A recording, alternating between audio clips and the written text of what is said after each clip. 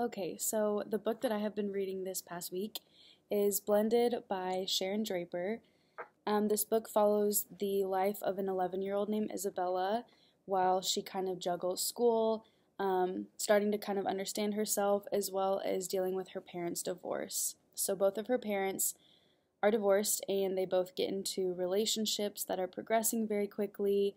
Um, and so she kind of struggles with not really having a sense of home and a sense of identity because she doesn't really understand where she comes from at this point in time. Another struggle that she faces heavily throughout the book is the fact that her father is black and her mother is white, and her dad has quite a bit of money, and her mom does not have a lot of money really at all. So she tries to navigate through these struggles. This book is a great young adult book because it focuses on so many issues that so many kids face in today's world but it also has that really extra and heavy aspect of you know kind of the race component in it and understanding how a kid might deal with issues like this. Um, so without giving out any spoilers because i highly recommend this book it's a quick read um, it's really well written but so without giving out any spoilers there are two things that i feel are important enough to talk about and one of those is the tone and the voice of this overall book I think there's something to be said for the fact that it is told from the point of view of, of an 11 year old, excuse me. Um, and that's because we kind of get this tone um, or this kind of voice of innocence in a way where she doesn't really understand why people treat her differently. Um, she doesn't understand why her background isn't necessarily taught in schools.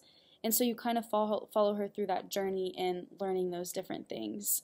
Um, she has a few friends at school that she goes through this with, um, and it gets bad enough to the point where when they start talking about, you know, lynching and slavery and kind of where Black history started, she actually has a friend that has a noose put in her locker, um, and it gets pretty, it gets pretty intense and gets really raw. And having that story told from the point of view of a child kind of adds to that unfilteredness and that rawness of the overall story because we don't have those filters that us adults might have kind of in today's world.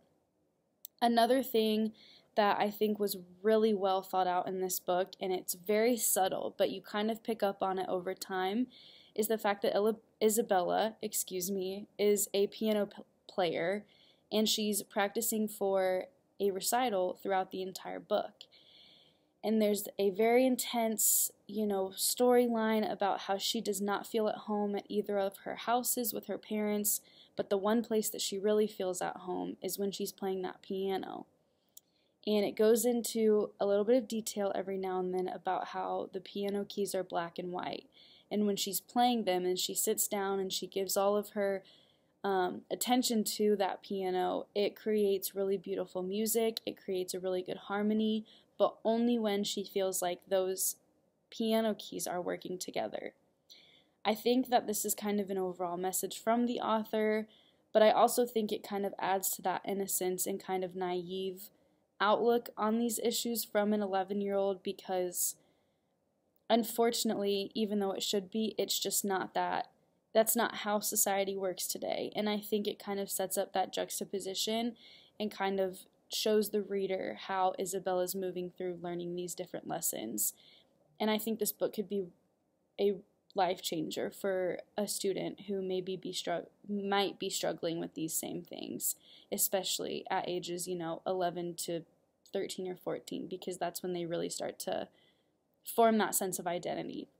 So I highly recommend this book, especially if you want to incorporate any types of books in your classroom that have that diverse background. So, thank you.